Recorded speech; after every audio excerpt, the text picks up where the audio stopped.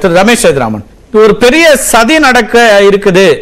மத ரீதியா ஜாதி ரீதியா பிளவுகளை உண்டாக்குறாங்கன்னு முதலமைச்சர் சொன்னாரு. அப்படி செய்யக்கூடியவர்கள் பாரதிய ஜனதா கட்சி தான் அரசகுமார் அதற்கான விளக்கங்களை கொடுக்கிறார். அவருடைய பார்வையிலிருந்து இதெல்லாம் தான் நடந்து கொண்டிருக்கு. ஒன்னாம் தேதிக்கு பிறகு அவர் தேசிய அரசியலுக்கு வரணும்னு சொல்லப்பட்ட பிறகு அவர் முன்வைக்கிற முழக்கத்தை எல்லோரும் ஏற்றுக்கொண்ட பிறகு இந்த சதி என்பது நடக்குது. அதனாலதான் இதை குறிப்பிடுறோன்றாரு.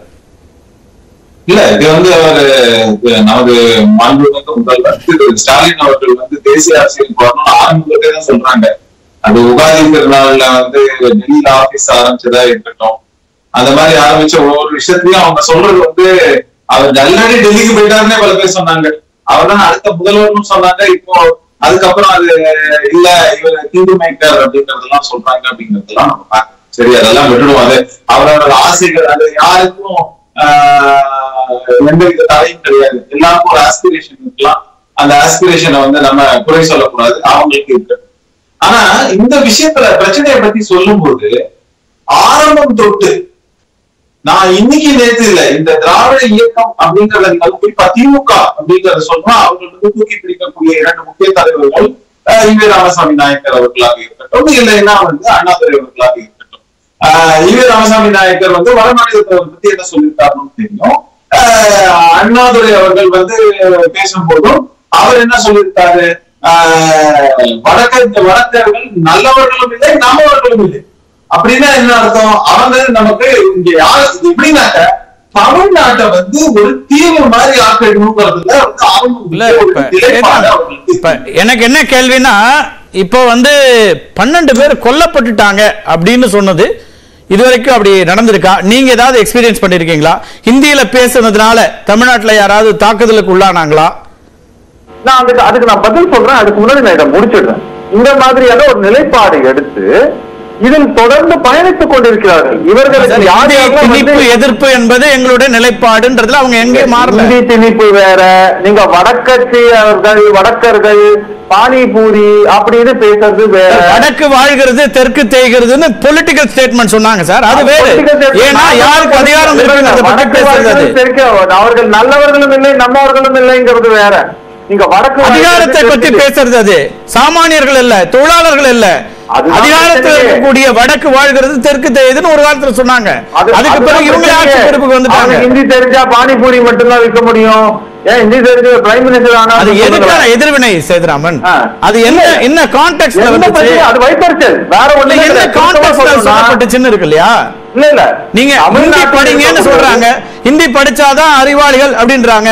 அது அந்த கருத்துக்களை அது தவறு. எதிர்கருத்து சொல்லும் போது அது சொல்ல வர்றாங்க அதையும் இதையும் நம்ம முடிச்சு போடுறோமா சரியா இல்லையே ஹிந்தி கத்துக்குங்கன்னு சொன்னா இன்னொரு மொழி கத்துக்குங்க ஹிந்தின்னு கூட சொல்ல இன்னொரு மொழி கத்துக்குங்கன்னு சொன்னாலே அது பாருங்க ஹிந்தி திணிப்பு அது பாருங்க சமஸ்கிருத திணிப்பு அது பாருங்க அவங்க நம்ம மேல திணிக்கிறாங்க.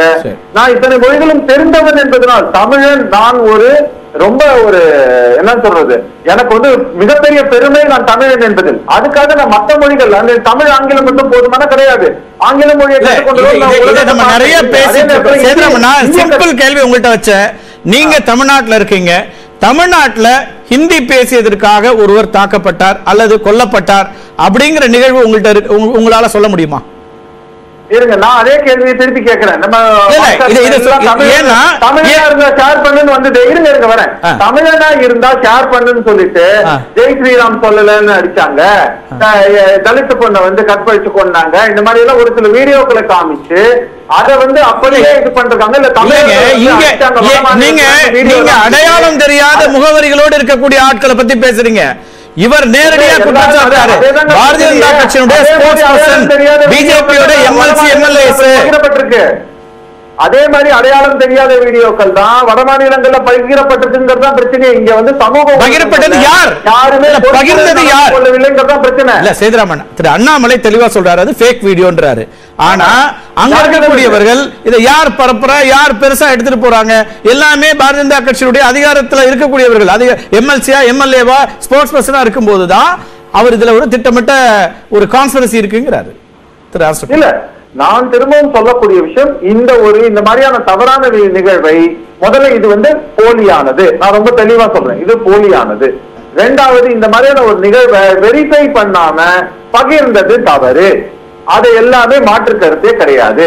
ஆனால் இது அங்கே மட்டும்தான் நடக்கிறதாங்கிறது ஒரு கேள்வி. இரண்டாவது விஷயம் இது நம்பும்படியாக இது நட மக்களுக்கு பயப்படும்படியாக இது நடந்ததற்கு காரணம் என்னங்கிறத நம்ம ஆராயணுமா இல்லையா?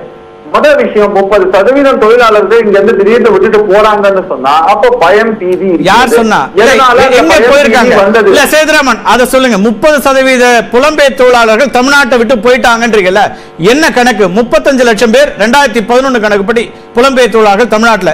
நீங்க சொல்ற கணக்குப்படி கிட்டத்தட்ட பத்து லட்சம் பேர் வெளியேறி இருக்கிறாங்கன்றீங்க எங்க வெளியேறி இருக்கிறாங்க நான் அதுதான் கேக்குறேன் மீடியால வந்தது எனக்கு நான் சொல்றேன் மீடியா ரிப்போர்ட்ஸ் பத்தி எல்லாம் நம்ம எல்லாம் அப்ப எல்லாமே சொல்ல முடியாது மீடியா ரிப்போர்ட்டே நம்ப கூடாதுன்னா அப்ப கூடாது. ஹோலி பண்டிகைக்கு அவ்வளவுதான். அத்தனை பேர் பைட்ஸ் கொடுக்குறாங்க அந்த. மீடியா ரிப்போர்ட்டை நீங்க பாத்துருப்பீங்கல்ல.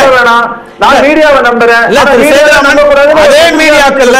பல ஊடகங்கள்ல பல ஊடகங்கள்ல ஹோலி பண்டிகைக்காக போறோம். இருபத்தஞ்சாம் தேதி ரிட்டர்ன் வரோம். இருபதாம் தேதி ரிட்டர்ன் டிக்கெட் போட்டிருக்கோன்ற எல்லா பைட்ஸையும் பார்த்தோம் தானே. இங்க இருக்கக்கூடிய அத்தனை. தொழிலாளர்களும் பேசுறாங்க இல்லையா? அதே ஊடகங்கள்ல தானே? அப்ப- பதறிக்கொண்டு அரசு ஏன் இந்த மாதிரியான ஒரு இதுல வந்து ஸ்டேட்மெண்ட் விடுறாங்க? அப்போ அவங்களுக்கே நம்பிக்கை இல்ல. இவங்க ஓலிக்காக தான் போறாங்க. எந்த வித பயமும் கிடையாது. யாருக்கும் எந்த பிரச்சனையும் இல்லைங்கும் போது அரசோட நீஜர் ரியாக்ஷன் எதுக்காக எந்த பிரச்சனையும் இல்லைன்னு சொல்ல முடியாது. உடனடியா அட்ரஸ் பண்ண வேண்டிய தேவையா இருக்கு. இது எப்ப வேணா பத்திக்கலாம். பெருசா வெடிச்சிடும் மக்கள் மத்தியில பிளவு உண்டாகிடக்கூடாதுன்னு தான் வழக்கு பதிவு. நமக்கு இது இன்னொரு சிக்கல் என்னன்னா சார் திரு சேதுராமன் அரசியல அரசியல கடந்து ஒட்டுமொத்த தமிழ்நாடு பற்றிய ஒரு எண்ணத்தை நாம மற்ற மாநிலங்களுக்கு என்ன கொடுக்கிறோம்னு ஒரு ஒரு கேள்வி. பேசும் இல்ல, ஒரு ரெண்டு நிமிஷம் மட்டும் பேசிடுறேன். ஏன்னா கொஞ்சம் சொல்ல வேண்டியதெல்லாம் சொல்ல ரொம்ப நீங்க சொன்னது வாஸ்தவமான விஷயம். இதுல இந்த மாதிரியான புரிதலை கொடுத்ததே நம்ம தான். ஏன்னா வந்தவன பானிபூரிக்காரன்றோம். ஹிந்தி தெரியாது போடான்னு சொல்றதெல்லாம் கூட விட்டுருங்க. பானிபூரி இல்லைன்னா வந்து வ- வடக்காயன் வந்துட்டான் அப்படின்ற அளவுல இந்த வேலையெல்லாம் பறித்துக் கொள்ளலாம். இங்க இருக்கிற இளைஞர்களை இன்னைக்கு டாஸ்மாக்கு அடிமையாக்கி வைத்திருக்கிறோம். அப்படிங்கும் போது நமக்கு அதிகப்படியான நிறைய பேர் படிச்சுட்டு வேலைக்கு போயிட்டாங்க அதையும் சொல்லுங்க. வந்துட்டான்றோம். என்ன கம்மியாவா கொடுக்குறோம்? இல்ல. என்ன கேக்குறேன். சம்பளம் கம்மியா கேட்டா அவன் வேலை செய்யறான்றத ஒரு குற்றச்சாட்டா வைக்கிறோம்.